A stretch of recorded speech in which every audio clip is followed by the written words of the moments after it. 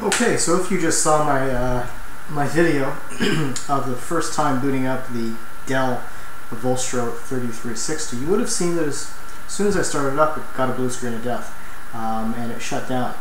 It also wasn't able to find the restore point to be able to restore from uh, uh, previously uh, previously good copy or previous image.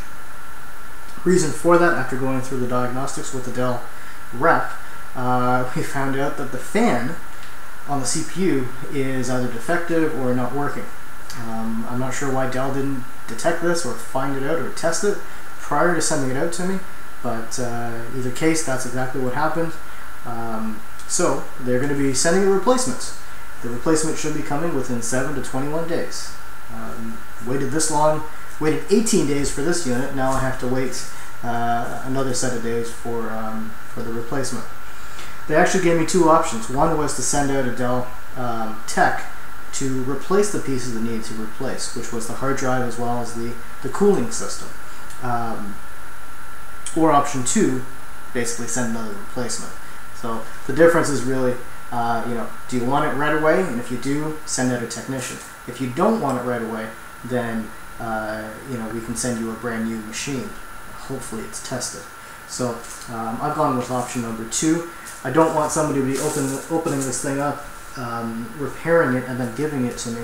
Uh, basically, it would be a refurbished system. Is the way that I would look at it. As well, uh, you know, some of the pieces may not fit snug the way that it should be. Um, you know, as, as manufactured in the uh, in the uh, uh, you know factory. So what I wanted to do, since I got to send this one back, uh, I just want to open it up and show you what's inside. So we're looking here, there's only one piece here that can open up, which is this piece here. I assume that that is where the hard drive is, um, or the memory. So I'm just going to go ahead and um, open that up. And we'll see what's inside there. Okay. Let's see if we can pry that open.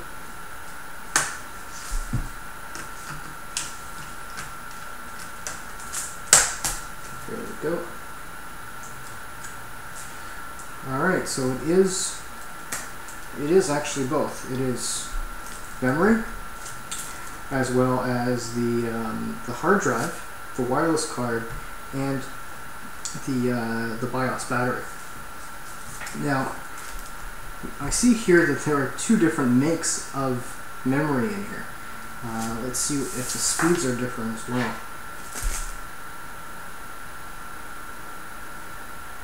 No, they're they're identical. This is this is six gigs of memory, uh, a four gig and a two gig. Let me just have a look here. I think it was supposed to be a six gig. Just want to verify that.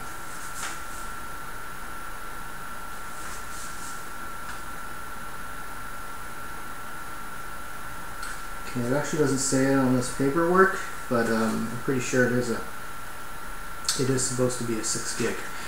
So, um, this is basically what you have access to when you open it up. Um, you only have access to those pieces. Now, you will see that there are a couple of other holes here, uh, which I assume will lift off the entire thing. There's a couple of um, a couple of uh, uh, rubber areas here where it's hiding screw holes as well um, which is a bit tricky to get to. Let's see if I can get to it here.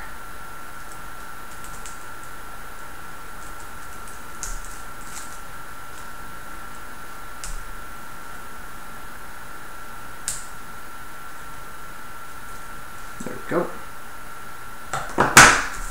So there's uh, three screw holes on that side as well. I'm not going to open up that, that piece there um, simply because I don't want to uh, run the risk of voiding my warranty even before receiving the unit. Um, so basically, on the back side, when you remove this cover here, um, that's what is exposed, is the memory, the solid state hard drive, the uh, wireless card, as well as the BIOS battery. So that concludes this video of the, uh, basically the opening of the panel on the back of the Vostro 3360 If you have any questions about uh, this video, if you have any um, suggestions for me, please do post them. Uh, if you like the video and you'd like to see some more about the Vostro 3360, um, I will be doing some additional testing uh, once I receive my replacement unit. And that will hopefully be a successful first boot um, for that unit. So, if you like the video, please give me a thumbs up. If you like the, uh, the videos I'm producing, please subscribe.